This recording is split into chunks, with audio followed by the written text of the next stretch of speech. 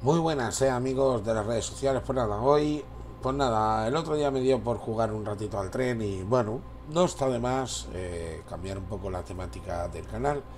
Pues nada, espero que el viaje te encante y disfrutes del camino. Por lo dicho, nos vemos en otro viaje. Chao, chao.